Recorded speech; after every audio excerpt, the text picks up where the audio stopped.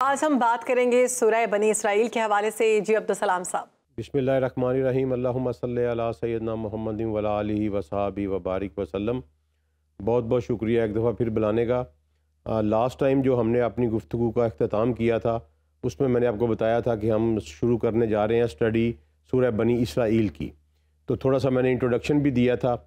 Actual सूरह बनी Israel को जब आप शुरू करते हैं तो मेरे तमाम नाजरीन से मेरी जो गुजारिश है कि वो थोड़ा सा इस पर गौर करें कि पहली आयत जो है सूरह बनी इसराइल की, उसका और सूरह बनी इसराइल के बाकी सारे मजमून का जो रबत है, वो क्या है? मसलन, जब नाम रख दिया सूरह बनी इसराइल तो इसका मतलब ये है कि इसमें, इस सूरह में बनी इसराइल की कौम के वाक़ात हैं। लेकिन उसका आगाज़ हो रहा है एक ऐसी आयत से, जिसका तर्जमा यह है कि पाक है वो ज़ात, जिसने सफ़र किया अपने बंदे के साथ एक रात मशदुल हराम से मशदुल अक्सा तक, जिसके माहौल में हमने बरकत रखी है, ताकि हम उसे दिखाएँ अपनी निशानियाँ। फिर आगे अल्लाह ताला शुरू हो जाता है कि हमने मूसा को किताब दी और फिर बनी इसराइल की मुकम्मल वाक़ात चले, चलते रहते हैं। तो ये एक आयत जो वाक़ मराज से मुतल है, ये इस वक्त इस सूरा में यहाँ इसका सूरा का आगाज़ क्यों किया गया इस आयत से? ये बहुत इंपॉर्टेंट बात है। ये सारे का सारा वर्ल्ड सनेरियो जो है और तारीख जो है उम्मत मुसलमा की, ये सारी आपको बताएगी। इस एक आयत में अल्लाह ताला ने मरकूज़ कर दी है। वो किस तरह? कि नबी करीम सल्लल्लाहु अलैहि वसल्लम को जब वाक़ मराज पेश आया तो वो मक्का में तशरीफ़ रखते थे। यहूदियों के साथ उनका भी कोई इंटरेक्शन नहीं हुआ था। किसी किस्म का कोई इंटरेक्शन नहीं था नबी सल्लल्लाहु अलैहि वसल्लम का, यहूदियों के साथ। लेकिन इसके बावजूद ये सूरा में का आगाज़ जो है, वो एक ऐसे सफ़र से किया गया जिसमें ये ऐलान किया गया कि ये तोहद के ये दोनों मराकज़ हैं, इस पर जो बनी इसराइल को सरफराज किया गया था, आज के बाद इंसानियत के ऊपर बनी इसराइल की जो सरदारी है, उसको मअतल किया जाता है।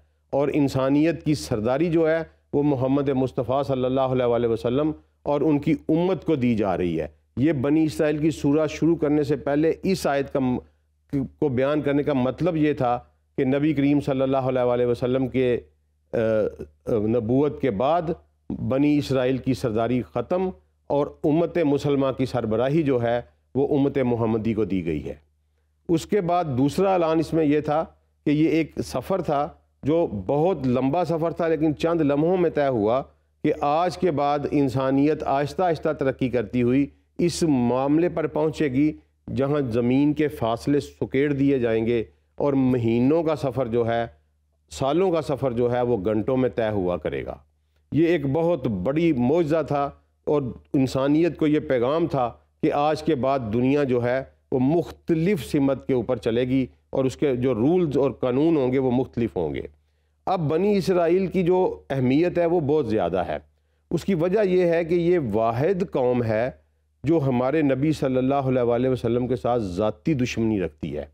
और सबसे बड़ा दुश्मन अगर इस्लाम का और उम्मत मोहम्मदी का कोई है तो ये मलून कौम है। इसलिए जब दुश्मन के साथ आपने डील करना है तो हमें इसकी साइकालोजी पढ़नी पड़ेगी, हमें इनकी तारीख पढ़नी पड़ेगी, हमें इनका हाल पढ़ना पड़ेगा और हमें ये देखना पड़ेगा कि हमारे अल्लाह और हमारे रसूल ने हमें क्या बताया इनके मुस्तबिल के बारे में। तो सबसे पहले हम जाएँगे इनकी तारीख की तरफ़। देखें जब अल्लाह ताला ने ज़मीन पर आदम को खलीफा बनाया तो उसके डिफरेंट फेजेज हैं जब हम स्टडी करते हैं। आदम से लेकर नू तक एक दौर है, जिसमें इंसानियत अपनी प्रेमिटिव स्टेज से तरक्की करती करती आगे बढ़ती आई। नू के बाद जब एक दफ़ा नू के वक़्त सैदना नू सलाम के ज़माने में पूरी दुनिया के ऊपर एक दफ़ा जब सुहागा फेर दिया गया सलाब की शक्ल में तो उसके बाद नई सिविलाइजेशन जो है वो उठाई गई। नू से लेकर इब्राहिम सलाम का एक दौर है और ये दौर पता नहीं कितने हज़ार सालों पे मुहित है। हम उसे डिटेक्ट नहीं कर सकते क्योंकि इसी सूरह की सत्रहवीं आयत में अल्लाह ताला ने कहा है कि हमने नू के बाद बहुत सारे क्राइन तबाह कर दिए। क्राइन ज़माने को कहते हैं तो बहुत सारे ज़माने जो सिविलाइजेशन थी, अल्लाह कहते हैं, मैंने नू के बाद तबाह की। खाली नू वाली तबाह नहीं की नू के बाद भी बहुत सारे ज़माने तबाह किए और हिस्ट्री में उनका रिकॉर्ड नहीं है। इसलिए जब इब्राहीम सलाम का दौर आया तो उस वक़्त हम देखते हैं कि इंसानियत जो है वो सिविलाइजेशन की पीक पे चली गई हुई थी। किस तरह कि अफ्रीका में जो थी वो इजिप्शियन सिविलाइजेशन पूरी तरह अपने कदम जमा चुकी थी। एशिया में जो थी वो मेज़ोपोटामियन जिसको हम बाबल और नैनवा की तहजीब कहते हैं, ये छाई हुई थी। इंडिया में जो है वो आर्यन सिविलाइजेशन इस्टेब्लिश हो चुकी थी। अमेरिकन कॉन्टीनेंट्स के ऊपर मायन सिविलाइजेशन इस्टेब्लिश हो चुकी थी और ऑस्ट्रेलियन कॉन्टीनेंट के ऊपर एब्रोजियन सिविलाइजेशन थी। ये इब्राहीम सलाम के दौर में तमाम सिविलाइजेशन थी, जो कि इंसान महजब हो चुका था सिविलाइज हो चुका था और अब अपना सफ़र एक नई मंजिल की तरफ़ शुरू करने जा रहा था। इसलिए अल्लाह ताला ने इब्राहीम सलाम को डिफरेंट टेस्टों से गुजारा डिफरेंट ट्रायल से गुजारा और उन ट्रायल से गुजारने के बाद जब इब्राहीम सलाम उन तमाम इम्तहानात में कामयाब हो गए तो अल्लाह ताला ने उन्हें एक डिग्री अता की और ये कहा कि, ए इब्राहीम, मैंने तुम्हें इंसानों का इमाम बना दिया है। अब ज़रा गौर कीजिएगा कि मुसलमानों का इमाम नहीं कहा, बनी इसराइल का इमाम नहीं कहा, बनी इसमाइल का इमाम नहीं कहा, किसी कौम का इमाम नहीं कहा। अल्लाह ने इब्राहीम को कहा कि, मैंने तुम्हें इंसानों का इमाम बना दिया है। कि आज के बाद जो भी इंसान की सरदारी होगी, वो इब्राहीम सलाम की नस्ल से ही आएगी। तो इब्राहिम ने उसके जवाब में दुआ की कि, या अल्लाह, मेरी नस्ल को भी बनाना, मेरी औलाद को भी। तो अल्लाह ने कहा कि, जो ालम होंगे आपकी औलाद में से, यानी जो शिरक की तरफ़ जाएँगे, उनके साथ मेरा कोई वादा नहीं और जो नेक होंगे, मैं उनको तुम्हारी औलाद में सियादत देता रहूँगा। अब अल्लाह ताला ने कुरान पाक में हमें भी यही के हुक्म दिया है कि मिल्लता अबीकुम इब्राहिम, कि तुम अपने बाप इब्राहिम की मिल्लत हो। अल्लाह ने लफ्ज़ मिल्लत यूज़ किया है, कौम यूज़ नहीं किया, उम्मत यूज़ नहीं किया। मिल्लत का लफ्ज़ यूज़ किया है। मिल्लत क्या होता है कि वो लोग जो एक ही आइडियालॉजी के ऊपर हों, उनको मिल्लत कहते हैं। चाहे वो अफ्रीका में रहते हों, चाहे अमरीका में रहते हों, चाहे एशिया में रहते हों। लेकिन अगर उनकी आइडियालॉजी एक है तो वो एक मिल्लत है। तो मेरे फ़ख्र के लिए ये काफ़ी है कि मैं इब्राहिम की रूहानी औलाद हूँ। मुझे इसके अलावा कोई टाइटल नहीं चाहिए। मुझे किसी किस्म का कोई रूहानी बाप अपना नहीं चाहिए। मेरा फादर ऑफ़ दी नेशन मेरा रूहानी बाप जो है वो इब्राहिम है और ये मेरे लिए फ़ख्र की बात है। तो इब्राहिम अलैहिस्सलाम को जब अमामत दी गई तो उनके दो बेटे थे, एक सैदना इसहाक अलैहिस्सलाम और एक सैदना इस्माईल अलैहिस्सलाम तो अल्लाह ने पहला जो सीरीज़ चलाई, वो सैदना इसहाक के आगे बेटे थे यकूब। यकूब जो थे, वो चूँकि इब्राहिम के पोते थे, उनके बेटे, वो ये सारे सेटल थे। कनान उस वक़्त उसको कहते थे, जो आज का सीरिया फ़लस्तीन वाला, लेबनन, शाम और फ़लस्तीन का एरिया है। यहाँ ये सारे सेटल थे। इनका एक बेटा जो था, यूसुफ वसलाम, वो हादसाती तौर पर मिस्र में पहुँचा। फिर अल्लाह ने वहाँ अपनी उसके ऊपर, उस अपने शाहकार हुसन जो थे, यूसुफ उनके ऊपर अपनी कुछ निशानियाँ ज़ाहिर की। उन निशानियों की वजह से वो वहाँ तरक्की करता हुआ मिनिस्टर यानी वज़ीर के मकाम तक पहुँचे यूसुफ वसलाम और फिर उन्होंने अपनी फैमिली को मिस्र में मंगवा लिया।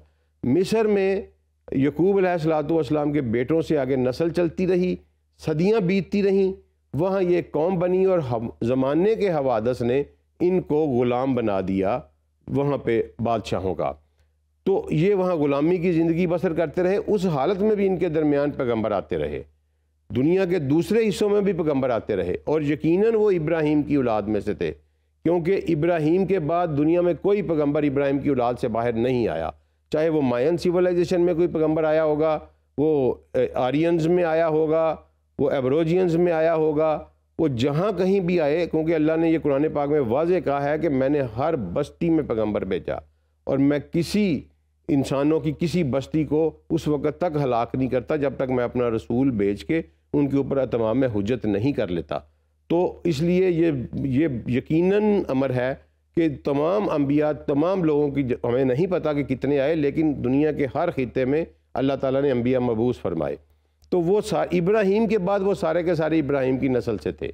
लिहाजा यहाँ जो नस्ल चली, वो इसहाक वसलाम की आगे चलती रही और जो इस्माईल वसलाम की नस्ल थी उसको अल्लाह ताला ने बिल्कुल एक साइड पे रखा। उनको उम्मीन कहा, इसलिए जाता है, लोगों ने ये हमारे तर्जमा करने वालों ने बड़ा जुल्म किया और गलत तर्जमा किया कि उम्मी उसको कहते हैं जो पढ़ा लिखा ना हो। बिल्कुल नहीं, उम्मी उसको कहते हैं जो अपने प्रीमिटिव कल्चर के ऊपर ज़िंदा रह रहा हो, जिसके ऊपर कभी कोई इन्वेजन ना हुई हो, किसी ने कोई कब्ज़ा ना किया हो, जो कभी किसी की ग़ुलामी में ना रहा हो, जो कभी किसी की जेर तसलत ना रहा हो और उनका अपना कल्चर उसी तरह मौजूद हो जिस तरह के प्रेमिटिव पहले अंदाज में मौजूद था। उनको उमी कहते हैं। तो ये उमीन थे लोग, इनको अल्लाह ने अलहदा रखा। इसहाक सलाम की औलाद में अल्लाह ने नस्लें भी चलाईं और तहजीब भी चलाई। तो वहाँ आके जब देखा तो मूसा सलाम को जब मिस्र में मबूस किया गया तो यहाँ से इनका एक सेकंड फ़ेज़ शुरू होता है। पहला फ़ेज़ इनका ये था कि वो कनान से या शाम से मिस्र में आए, वहाँ फले फूले, बड़े, इनकी आबादी हुई, लेकिन ये ग़ुलाम बना लिए गए। और उसके बाद फिर इनके मूसा को जब मबूस किया गया तो मूसा ने इनको आज़ादी दिलाई। आज़ादी दिलाई और अल्लाह ताला ने वहाँ इन पर करम किया। और इनको अल्लाह ताला ने कुरान में वाज तौर पर यह कहा कि मैंने तुम्हें आलमीन पर फजीलत दी थी। यानी इसमें कोई शक नहीं कि ये बहुत आला किस्म के लोग थे। इनको अल्लाह ने आलमीन पर फजीलत दी। इनके के लिए मनो सलवा उतारा गया। आसमान से पके पकाए खाने उतरते थे। उसके अलावा पत्थरों से इनके लिए चश्मे निकाले गए। अल्लाह ने इनके लिए बहुत कुछ किया। लेकिन ये कुदरत की सितम ज़रीफ़ी देखें, इस कौम की शामत अमाल देखें कि कहाँ कि फजीलत है इनकी आलमीन के ऊपर और कहाँ ये गिरते गिरते यहाँ पहुँचे कि मकदूब अलहिम हो गए। अल्लाह के गज़ब का शिकार हो गए और अल्लाह ने इन्हें मअतल कर दिया। डिसमिस कर दिया इनके अहदे से। तो इनकी तारीख फिर मूसा सलाम के बाद जब ये वापस आ गए अपनी ज़मीन में, यानी शाम में आके फ़लस्तीन में आबाद हुए तो वहाँ अल्लाह ताला ने अपने एक जलील कदर पैगंबर सैदना दाऊद सलाम के ज़रिए इनकी एक बहुत बड़ी हुकूमत इस्टेब्लिश की। इतनी बड़ी हुकूमत के ये वर्ल्ड पावर थे। उसके बाद उनका बेटा सैदना सलेमान सलाम उन्होंने अपने पूरी जो है सल्तनत को संभाला, उनके ज़ेर तसलत अल्लाह ने दिया परिंदों को भी, जन्नात को भी, दुनिया की सारी मखलूक़ात को, और जो कुछ ज़मीन के ऊपर था, उसके ऊपर हुकूमत दे दी गई सैदना सलेमान सलाम को। ये इनके वाक़े का अरूज था। उसके बाद सैदना सलेमान सलाम के बाद फिर ये जवाल का शिकार हुए, और अल्लाह ने बनी, सूरह बनी इसराइल में फरमाया कि तुम दो दफ़ा ज़मीन पर फसाद करोगे और मैं दो दफ़ा जो है तुमको दोबारा वापस बैठाऊँगा। तो वो दो इनके ऊपर जो फसादात इन्होंने किए, वो क्या थे? इसको हम अगली दफ़ा स्टडी करेंगे। आज हम इस पर क्लोज़ कर रहे हैं कि बनी इसराइल जो है, ये सैदना यकूब सलाम की औलाद से हैं। हम इस्लाम के मुसलमानों के सबसे बड़े सिक्का बंद दुश्मन हैं। और आज भी हमारा जो लड़ाई है, वो इनके साथ चल रही है। और फ्यूचर में पंजाबी में जिसको कहूँगा, पेड़ पहना। हमारा इनके साथ बड़ा ज़बरदस्त पेड़ पड़ने वाला है। वो क्यों? कि सूर्य कहा पढ़ाते हुए मैंने आपको कहा था कि अल्लाह ने कहा कि दो कौमें हैं जो दजाल का साथ देंगी, जो अल्लाह, जिन्होंने अल्लाह का बेटा बना लिया और अल्लाह ने कुरान में कहा कि यहूद उज़ैर को अल्लाह का बेटा कहते हैं और नसारा जो हैं वो ईसा को अल्लाह का बेटा कहते हैं। ये दो लाइन कौमें हैं, इनकी स्टडी हमने करनी है। हम इससे आगे चलेंगे कि इन्होंने फसाद दो दफ़ा ज़मीन में कैसे किया और फिर ये दोबारा कैसे आबाद हुए? बहुत शुक्रिया, अब्दुल सलाम साहब। आज के वाक़े के हवाले से आपने बताया और हम इंतज़ार करेंगे कि अगला जुमा आए और इस वाक़े को मज़ीद आप कंप्लीट करें।